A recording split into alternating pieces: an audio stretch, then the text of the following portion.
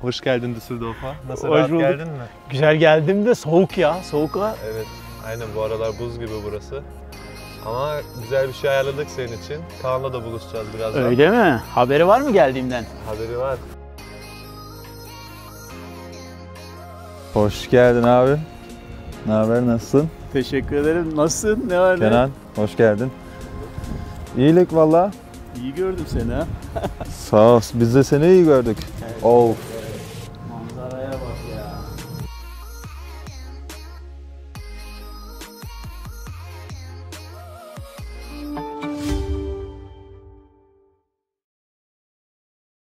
Arkadaşlar merhabalar. Bu hafta Almanya'dayız ve daha önce Belçika, Fransa'da yaptığım e, videonun bir benzerlerini Almanya'da Düsseldorf şehrinde de yapacağız. Bakalım o merak ettiğiniz sorunun cevabını bulabilecek miyiz? Gerçekten Almanya'ya yaşamaya veya çalışmaya gelmeye değer mi? Bunu Hayati Kabacıoğlu amcaya soracağız. Kendisi 1979'dan beri e, Almanya'da yaşıyor. Kendisi taksicilik yapıyor. Bize de e, sağ olsun Düsseldorf'ta mihmandarlık yaptı. Şimdi kendisine soracağız. Acaba gerçekten Almanya'ya yaşamaya ve çalışmaya gelmeye değer mi? Uzun yıllardır burada olduğu için en doğru cevabı o verecektir. Ben sizi onun cevaplarıyla baş başa bırakacağım. Evet. Benim görüşüm e, Türkiye'deki şartlarına bağlı. Eğer bir insanın Türkiye'de iyi bir işi varsa Almanya'ya gelmesini hiç tercih etmem. Burada daha iyi olacağını hiç zannetmiyorum. Nasıl peki gerçekten Almanya'ya gelmeye değer mi? Yani insanlar hani düşünüyorlar Türkiye'de bir kendimi Avrupa'ya atsam hayatım kurtulur.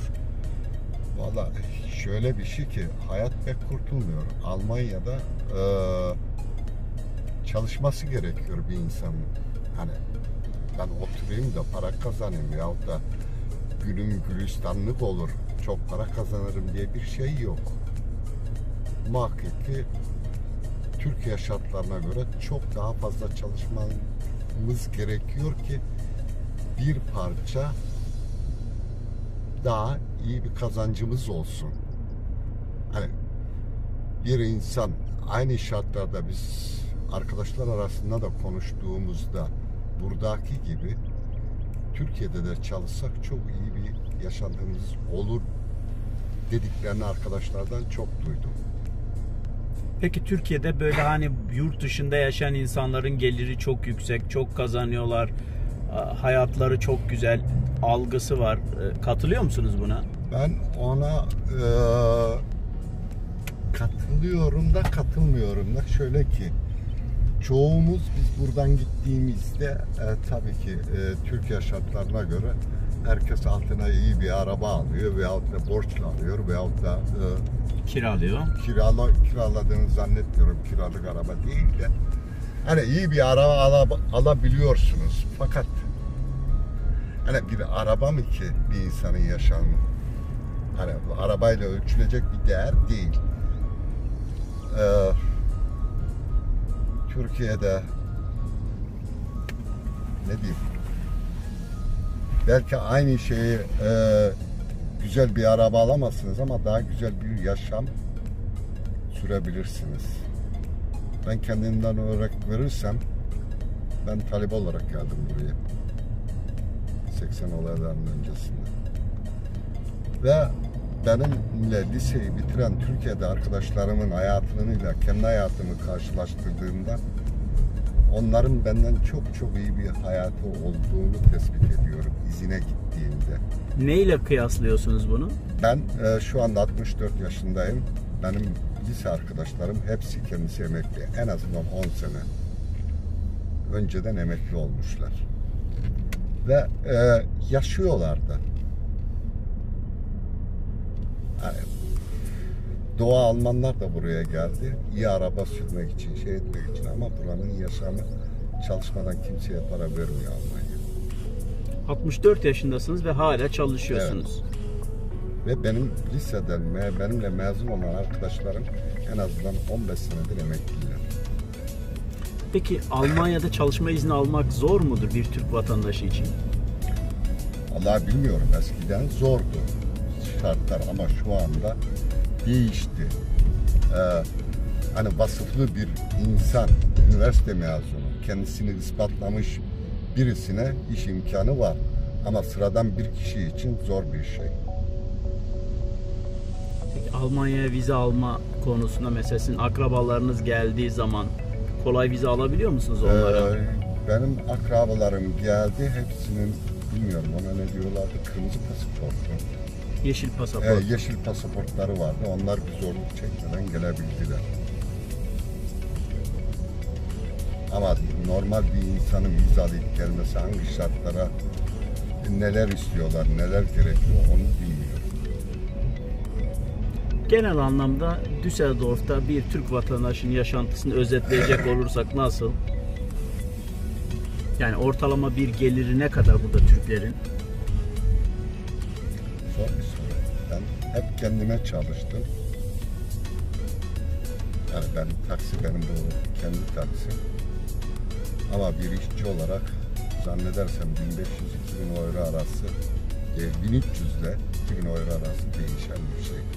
Tabii ki uzun sene çalışmış bir insan.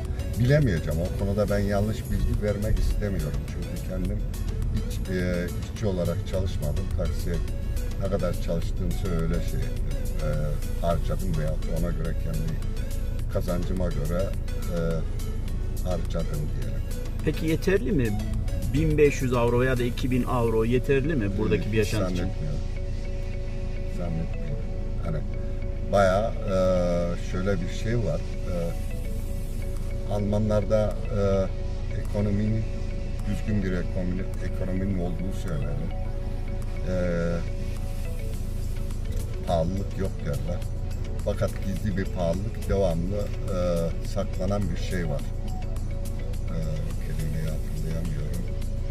Söylenmiyor yani bu. e, enflasyon var. Yani gizli bir enflasyon burada da var. Peki hep şunu söylerler. Marktan avroya geçiş esnasında Almanya'daki yaşantı çok değişti diyorlar. Özellikle yabancılar için. Doğru mu Evet, bu? Doğru, çok doğru. 3 kişilik bir ailen diyelim. Hani hanım, çocuk ve eşinin e, mutfak masrafı ne kadar ortalama burada? Vallahi 150-200 euroyu eğer evde yiyip içme şartıyla. Mutfak masrafı Evet 200 euro haftalık. Evet. Yani markete Ben gittiğiniz kendim zaman için, ben hiç kendim alışveriş yapmıyorum. Hep eşim yapıyor o işleri. Hani ben e, bir yerde yani parayı kadar önemseyen bir insan olmadığım için. Ha, biz ortalama soruyoruz. Hani buradaki Yani ortalama bir insan. Zannedersem 200 euro civarında bir şey var. Yani bin- Masraf. 1500 euro kazanan bir kişi haftada 200 euro harcadığını düşünürsek 4 Aynen. haftadan 800 euro. 800 euro oraya gitti. Geriye kaldı E, 700 euro. 700 euro da kira. Yani kiralar da bağlı. Bugün gerçi benim daire kendimin. Ben kira ödemiyorum ama arkadaşlardan duyduğuma göre 7-800 bin euro üzerinde 3 odalı bir eve kira veriyorlar. Düsseldorf için konuşuyoruz. Evet Düsseldorf'un da semtine göre tabii. Her Türkler yere- peki bizim burada Türk vatandaşlarımız genellikle neyle hangi mesleklerle uğraşıyorlar? Şimdi ben ve benim generasyonum genellikle e, vasıfsız işçi olduğu için mesela şu Düsseldorf'ta 1300 taksi vardı veyahut da 2000 3000 şoför varsa bunun en azından bir tanesi Türktü takside. Ve çoğu da e, şu anda var olan fabrikalarda şurada burada. Ama son zamanlarda tabii gençler büyüdü.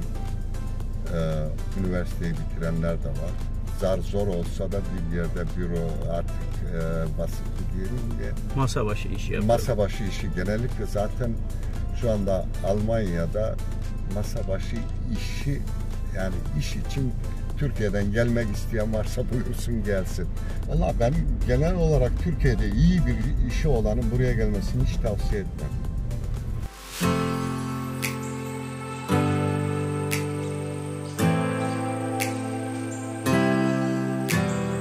Taşkın 19 senedir Almanya'dasın. Türkiye'den Almanya'ya gelmek isteyenlere tavsiyen nedir? Gelsinler mi? Ya duruma göre ya herkesin durumuna göre. Buraya gelen hayatı kurtuluyor mu sence? Kurtulmaz artık kurtulmaz sanmıyorum.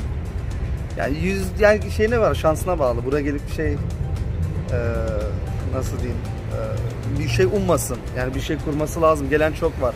Dükkana ben çok görüyorum. Eee, çok gelen var. Tabii ben de gelmek isterdim. Geldim de ama eee, kolay değil. Çünkü buranın da zorlukları çok. Kağıt On- var, dil var. 19 senedir buradasın. Yaşadığın en büyük zorluk ne? Dil. Ama onu da atlattık. Atlatalı. Yani en büyük zorluk oydu. Çalışma izni almak kolay mı? Şu an kolay değil. Çünkü e, göçmen çok ama alabiliyorsun. Yani bir yani şu- alan çok. Şöyle diyeyim, başaran çok ama kolay değil. Peki bir şey söyleyeceğim. Burada ortalama eee, bir askeri ücretli ne kadar alıyor ve yaşantısı için yeterli mi? Kaliteli bir yaşam için yeterli değil. Ama yani şöyle diyeyim, yaşamak için yeterli. Ne kadar askeri ücret burada? 1400, 1500, 1500 öyle bir şey. Kiralar ne kadar mesela burada? Düzgün bir ev 600-700'den aşağı yok. Tek odalı ev bile 400'den aşağı bulamazsın. Peki 3 kişilik Şimdi- bir ailenin haftalık mutfak masrafı ne kadar? Sağlam 150-200 euro vardır.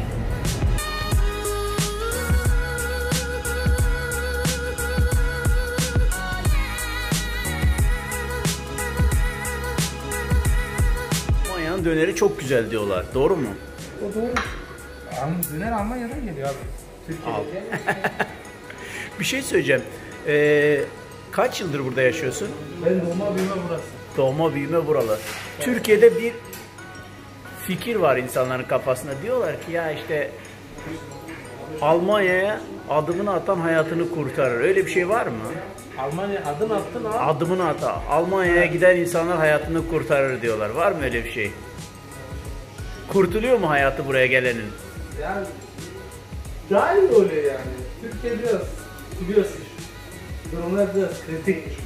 Peki maddi olarak soracak olsam burada ortalama bir insanın eee, ne kadar ücret alıyor yani böyle askeri ücret? 1500'den başlıyor 1500 1600 öyle. Yetiyor mu peki yaşamak için? yetiyor abi. Sen ama şimdi bak öyle baksan şimdi bak Türkiye'de ben geçen sene gittiğimde, iki sene önce gittiğimde asgari ücreti 1600 euroydu değil mi? 1600 TL. Gittim Adidas'a gittim ayakkabılara baktım. Orada Adidas bir tane ayakkabısı 500 TL.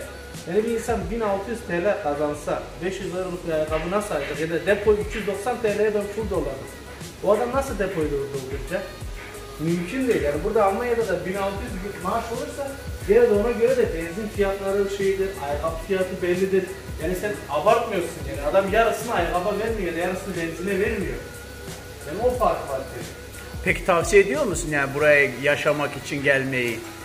Abi ben burayı tek gördüm. Doğma büyüme buradayım. Yani benim babam da şimdi ben geri, eskiden diyordu ben geri dönüş yaparım. Ama şimdi benim sorunlarım olursa ben geri dönüş yapmam. Yani evime düşüyor ama geri dönmeyi düşünmüyor. Almanya'da çalışma izni almak zor mu? Şimdi zor. Şimdi 9 ay sürüyor. Önceden o kadar sürmüyordu. İsteyen herkes alabiliyor mu peki? Yok. Eskiden birkaç ay önce bu bütün şimdi yabancılar gelmeden önce daha kolaydı. Şimdi uzattılar. Azülhan'da kalanlar 9 aya uzattılar artık. Yani artık biraz zor. Akrabalarınız peki Almanya'ya geldiği zaman, yanınıza ziyarete geldiği zaman vize almakta zorlanıyorlar mı? Yani değişiyor yani. Herkes yani ben çıkarsam ben, ben çıkarırsam sıkıntı yok. Aylık belli, maaş belli, sıkıntı yani devlet yaratmıyor. Yani Ama sen zaten buranın vatandaşısın değil mi? Ben buranın vatandaşıyım. Ya bilmiyorum başka birisi yapsa bilmiyorum. Belki sıkıntı yaşarlar. Şey, evin büyüklüğüne bakıyorlar.